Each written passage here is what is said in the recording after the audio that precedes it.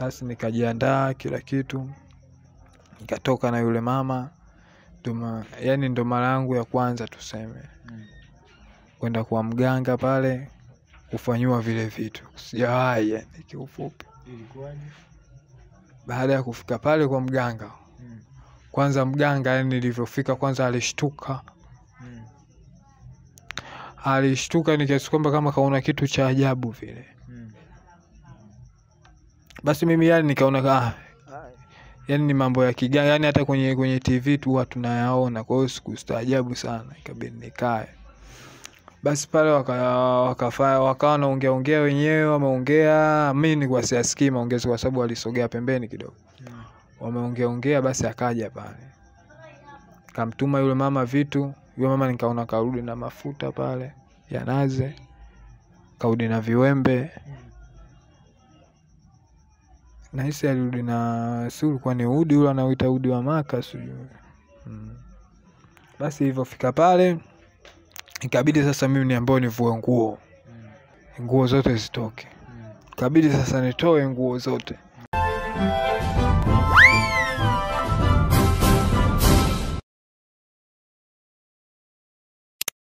kwa sababu sinataka nifanyiwe tiba nirudi kwenye kazi niwe mtamu yani nikirudi kwenye kazi niwe mtamu Mm.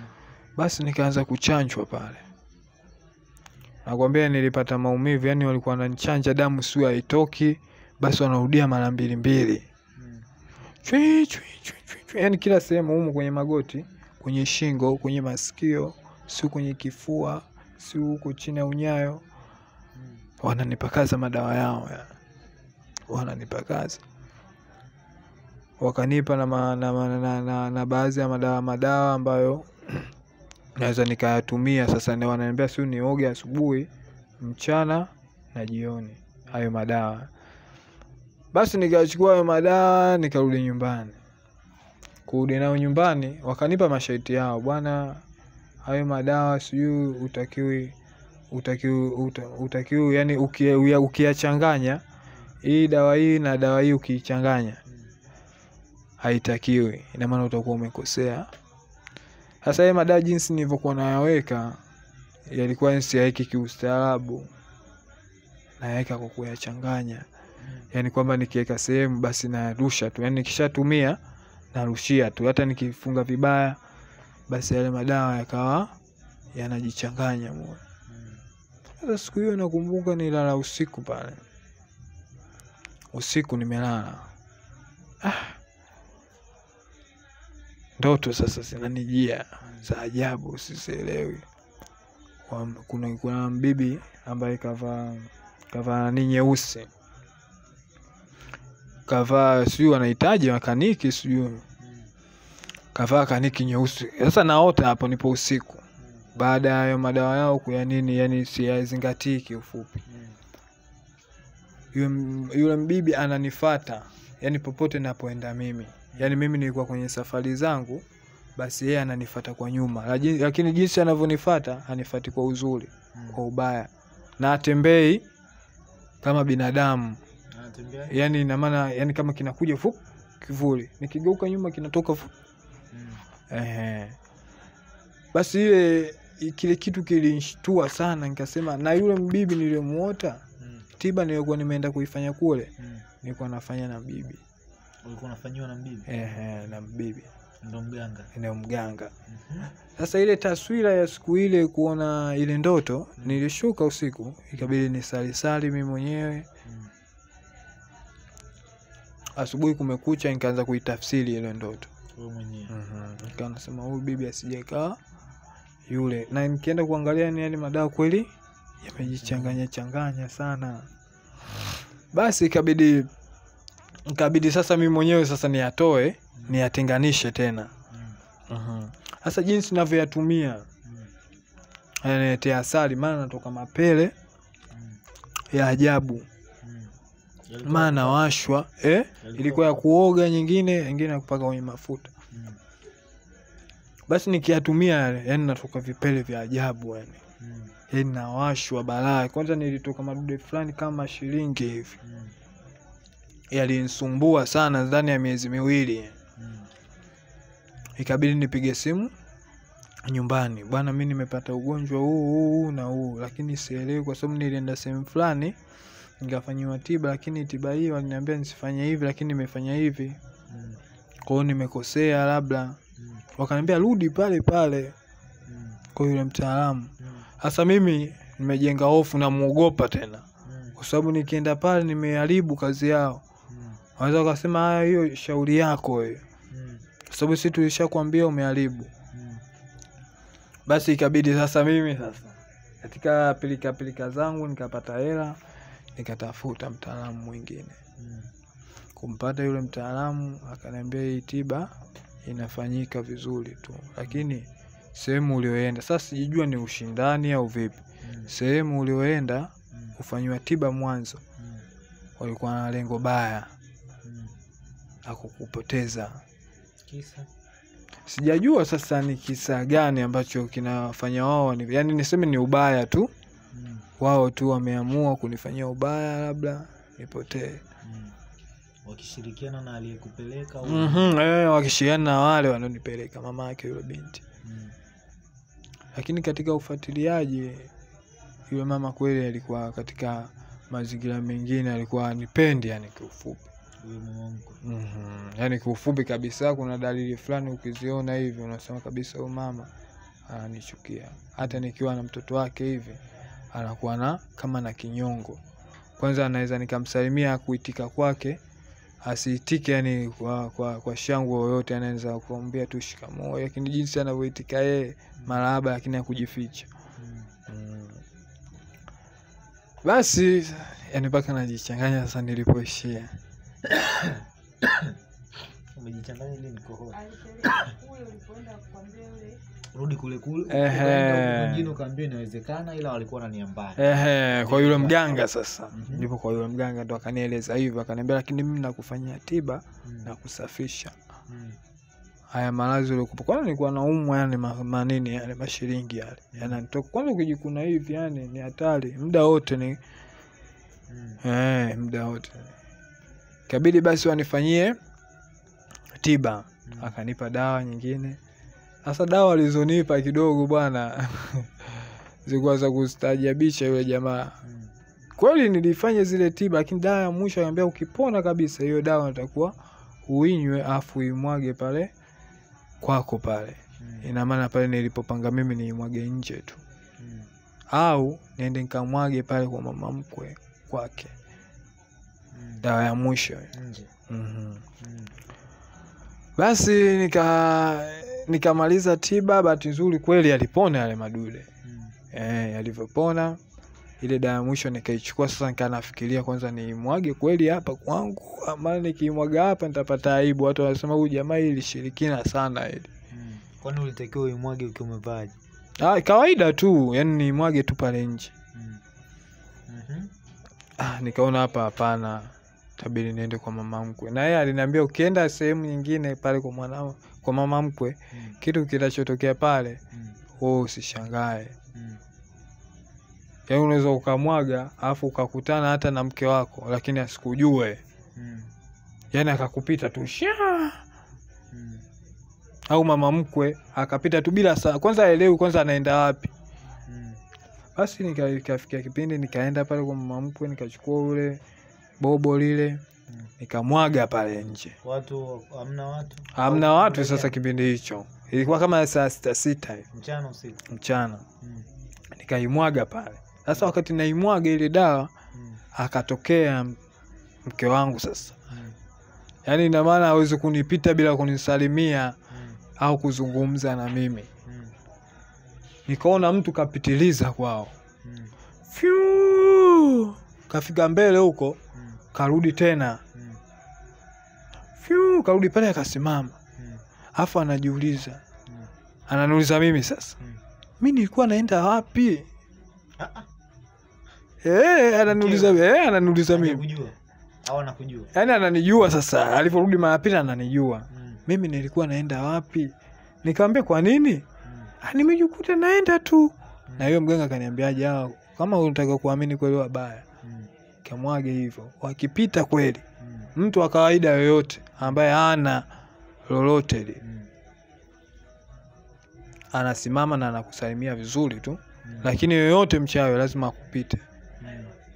na ni kweli yule bwana akapita sasa alivyorudi nikaa namuogopa sasa ni mke wangu lakini namuogopa kwamba huyo mganga kaniambia bwana ataipita vibaya hapo, ujue huyo ni mbaya sasa mimi ikabidi sasa yule mwanamke nimwambie bwana we tutaonana kesho Mm. hatuwezi kuzungumza sasa hivi Mm. kabidi niondoke eneo lile Ah, nilichokifanya ni chochote haja yani hajaelewa yani kiufupi kaudi pale mwenyewe anajiuliza nimepitaje hapa nimerudi tena Mm. eh anajishangaa basi mimi ikabidi niondoke Mm. baada ya kuondoka mwanamke akanalazimisha sana Mm.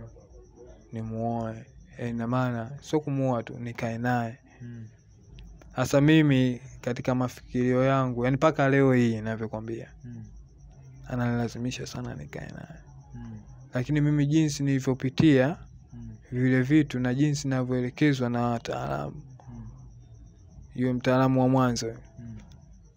yani kiufupi amenijengea hofu siwezi kuwa naye yani kwamba nikiwa naye anaweza akanimaliza kwa sababu kama kaanza hivi vidogo vidogo anaweza wakanimaliza kabisa kama wanipendi kwa sababu licha ya hayo kwa nini yale matukio ali mwanamke ile mimba alimpa mtu mwingine akanaelea vizuri tu.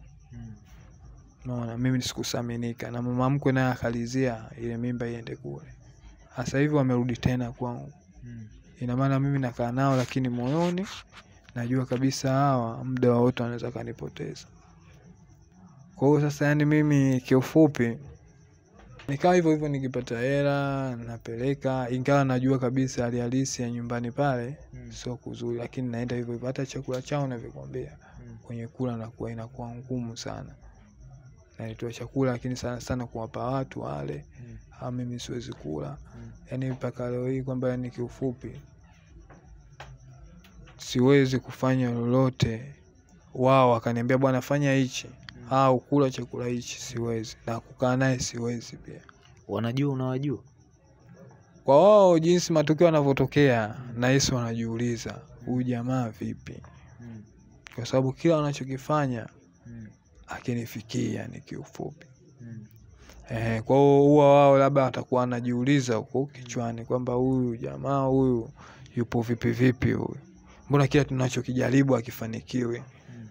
Mtoto alimpa mtu mwingine na mama alikuwa anajua mwanzo kuanzia mwanzo kabisa yaani kiufupi mama alikuwa anafahamu kabisa bwana mtoto wangu hii mimba kapewa na mtu fulani Mm. lakini kutokana na mtu fulani aelewi Mm.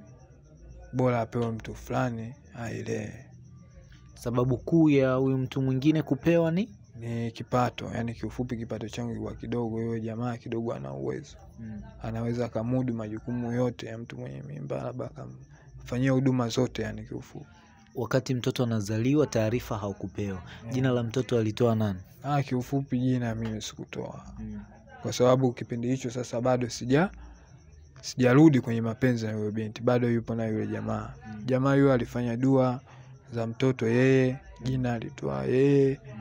Na vingine viliendelea juu yake lakini lakini hivyofikia kila siku zinavyozidi kwenda Mm. mtoto yule sura inazidi kuwa yangu yani inapotea kwake yani yeye hana pale chochote ni kiufupi Mm. kila akimwangalia ndani na yeye kabla ya baba mtoto kumkataa alivyopewa mtoto ina maana kulikuwa na mahusiano pia ya kwake na huyo mwanamke. Baadaye akapewa mtoto. Alivyopewa mtoto mwisho wa siku akaja aka, akaona kwamba sio wa kwake na familia ikamhakikishia kwamba sio sio wa kwao. Akakatisha huduma. Ndiyo. baada ya kukatisha huduma mama mtoto akawa anarudi kwako. Wakati anarudi kwako mtoto ana jina gani? Mtoto bado anatumia jina lile lile. Yaani kiufupi sikutaka mimi kubadilisha kwa sababu niligombana naye sana kubadilisha hilo jina. Lakini ilishindikana yani kiufupi kwa sababu nahisi ilikuwa na nguvu kwa sababu lishafahamika kwa watu wengi. Yaani jina langu mimi nililolitoa alitumiki Ila uli- fahamu tu mimi ina maana na yeye analifahamu. Lakini kumpa mjina ambalo anatakiwa aandikwe kwenye kadi au sehemu yoyote anatumika hilo aliopewa mwanzo. Na yeye ananiambia kwamba hilo jina hakutoa baba. Hilo jina amelitoa bibi yake yeye sasa. Mzaa mama yake ndo kalitoa hilo jina. Kwa hiyo umelipitisha? Ah, mimi kwa vile sikutaka mambo mengi Mm. kwa sababu mtoto ukimwangalia bwana ah, yani kabisa unamwona ni damu yako. Mm. na nyumbani nilimpeleka yule mtoto. Mm. na akamwangalia akasema kweli. Mtoto anaitwa nani? Anaitwa Mudriki Mudriki nani? Ina maana sasa sasa hivi anatumika Mudriki na Solo. Yani mpaka nikienda hospitali ni hivyo kadi imebadilishwa. Eh, yani kiufupi naitwa mimi na Mudriki na Solo. Ila mwanzo alikuwa anaitwa mudrik nani? Mwanzo sasa sikujua kwamba alikuwa anatumia jina la yule baba au vipi kwa sababu walikuwa wao mimi sifahamu. Ina maana sasa hivi nilivyorudiana naye mimi ina maana linatumika jina langu mimi. Hebu tu, tupe experience kidogo. Wakati unagundua kwamba mtoto kapewa baba mwingine kisa tu hauna kipato Mm. ilikuwaje kwa upande wako? Yani kiufupi yani kiufupi nilijifikiria sana. Mm, niliona maisha hayo nayoenda nayo mm, bado nazidi kuchelewa. Mm, kama imefikia hivi nakataliwa kwenye mtoto kwa sababu sina hela mm, inabidi nipambane sana. Mm, e, ili nije vitu kama hivi visiwe yani vikinitokea basi na mimi nakuwa na ubavu kidogo. Na kweli ukiangalia mm, yani kufanya vile kwa yeye mm, yani mimi niliona ni sawa. Mm, kwa sababu kweli nikuwa sielewi yani kiufupi lakini mimi ilikuwa inaniuma kweli sielewi mm, lakini ishi na mimi hivyo hivyo. Mungu tu ndo anayejua. Mm, lakini yeye aliama upande wa pili Mm. ina maana mimi nilikuwa sina kipato kweli cha kumhudumia lolote kama mzazi. Kwanza yani sielewi lolote kwa sababu sijawahi kupata mtoto. Ina maana sielewi vipengele vyovyote vile anavyohitaji kupata mtu mja mzito lakini yu aliyekuwepo naye ni mtu mzima alipeleka kwa mtu mzima yani kabisa. mtu mzima kabisa yani ana familia au hana? Ana familia yani huyo mtu. Ina maana yule alikuwa anataka mweke mke wa pili. Naye alikuwa karidhia. Karidhia. kwamba baada sasa ya ule mtoto kuzaliwa ndo kizaazaa kwamba mshikaji amtaki tena amemtia gharama Mm, mtoto aende kwa baba yake. Mm. Ndo naletewa mimi sasa. Hakudai chochote jamaa? Ah jamaa kudai chochote ila sasa kuna kipindi naye sasa ilifikia si ukashawishiwa na watu mm. akaja sasa akaa anasema kwamba sitaki wewe ujihusishe na yule mtoto kwa sababu nimetoa huyo mwanaume sasa kanifata mimi eh. kakufuata live yaani alimfata kaka, kaka zangu ambao naishi nao hapa Mm. akaambia mdogo wenu mwambieni mm. yule mtoto achane naye Mm. gharama nimetoa mimi mpaka mtoto anafikia pale Mm. asijifanye mwamba akaenda kumchukua yule mtoto akaishi naye kitachomtokea mtakuja kunilaumu Mm. kitu kibaya Mm. basi ili- ili- iliishia hivyo lakini mimi mimi nilikuwa jasiri tuseme kiufupi nikasema mimi hawezi kunisumbua yule jamaa au kutumia njia zozote kutaka kujua yeah. kwamba yeye anataka nini au kuonana naye au kuwasiliana naye kujua ni kwa nini hataki wewe umchukue mtoto aliyekuwa ni wakwako ah, sikutaka kufahamu yoyote yale ili mradi kwamba mimi mtoto nimeshakabidhiwa tena ina maana ni wa kwangu tena. Ina maana mimi natakiwa nianze kutoa gharama za kumhudumia na ni kweli mungu alinijalia nilikuwa napata viriziki kidogo. Eh, vinajalia napeleka kwa mama mtoto pamoja na yote umesha fun, umeshafungua moyo wako na kumsamehe? Yaani mimi kiufupi kumsamehe nimemsamehe lakini sio tena kuishi naye pamoja. Mm. Yaani bora awepo nyumbani nipeleke tu gharama lakini mimi moyo wangu wa kukaa naye pamoja sina ingawa sasa nampenda lakini siwezi kwa sababu kila nikifikiria kuna vitu ambavyo vinanikwamisha nikifikiria kwanza kuhusu maswala ya ushirikina kwa sababu ni watu kweli wanapenda ushirikina yani kiufupi Mm. e, na vitu walivyonifanyia kunipeleka kwa huyo mtu wao ambaye anataka kunipoteza Mm. e, yani nikifikiria hivyo siwezi yani. bora ni mlee mtoto kwa hiyo hata akipata mlezi mwingine wakasaidiana kumlea mwanao hakuna tatizo ina maana sasa hapo hapo atakuwa ananikosea mimi lakini yeye afanyi mapenzi yake lakini mtoto bado atakuwa ni mali yangu na nitapeleka gharama yoyote ile mm. kwa mtoto lakini sio kwa yeye yeye afanye vitu vyake na watu wake kama huyo mtu kalizia kwana yule mwanangu aishi naye Mm. na amafanyie huduma zozote sawa hilo halina shida na, na wewe unafikiria nini juu ya malezi ya mwanao yaani kiufupi mpaka unavyoniona hapa mm. napambana sana so kidogo Mm. napambana sana najua kesho kesho kutwa mtoto anakuwa Mm. akikuwa anahitaji malezi ya baba ambayo natakiwa huduma zote sasa kama mtoto mm. apelekwe shule na afanyiwe vitu vingine kama mtoto ina maana nguo kununuliwa nguo sijui mara sabuni mara nini apewe vyote yani mahitaji yoyote ndio maana mpaka sasa hivi mi napambana sijiweke nyuma yani kama anakutazama au kama wanakutazama unawaambia kitu gani wao Mm. yaani kiufupi nachokieleza kwamba kwa wao mm. kwa maisha nilikuwepo nayo sasa Mm. kukaa na yeye siwezi. Lakini kikubwa ambacho naweza nikasema kwamba mimi nitamhudumia mtoto wangu kama kawaida lakini kuhusu kukaa naye yule mwanamke kwamba siwezi. Siku zote au kwa kipindi tu mambo siwezi, yakikaa sawa? kiufupi siwezi. Hata yakikaa sawa sana siwezi. Ni- inaonekana kuna kitu basi umetuficha kikubwa ambacho umefanyiwa alafu hutaki kutuambia. Kwa sababu kwa ulioyazungumza sioni kitu cha kusema huwezi kabisa. Kama anaweza kukutunzia mwanao na akawa hai we unaogopa nini? Yaani nachoogopa mimi tu, tu, tuende kwenye ambacho haujatuambia. Nahisi kuna ambacho haujatuambia. Ah, hapana kwa sababu nilichokueleza mimi labda kama hujanielewa vizuri Mm. yule mwanamke kitu ambacho kinanifanya mimi nisikae naye mm. kuhusu masuala hayo ya kishirikina mm. kama walidiriki kunipeleka kwa mtu ambaye anaweza akanihudumia masuala yangu ya kimaisha yakaenda kumbe sivyo mm. wao walinipeleka kwa mtu wana lengo lao jengine sasa sijajua lengo lao kubwa lilikuwa ni nini hilo ndo linanifanya mimi nikiwepo naye karibu kuna vitu vingi anaweza akawa huru kunifanyia kwa sababu unapokuwa na mke ndani kuna vitu vingi mnashiriki kwa pamoja. Kwa sasa mimi nachoogopa ni hicho tu. Sawa sawa. Mi nikushukuru. Chochote cha mwisho cha kumalizia? Aa, kikubwa ah, kwa napenda napenda kuwaambia ambao wananitazama kwa sasa. Kwamba kitu ambacho nimekihadisia kama kinaweza kikamfundisha mtu bora akichukue ili a- ayaepuke haya ambayo mimi nimepitia. Na we natumaini kabisa kuna vijana wadogo bado hawajaanza maisha. Pia pia kuna watu wazima ambao wapo ndani ya maisha. Lakini kuna vitu ambavyo mimi nimepitia kama wao. Kwa hiyo kuna vitu wengine watu wazima pia nao hawajapitia wajifunze kutoka kwangu. Ya nicho tu. Yasmi, mi nikushukuru sana.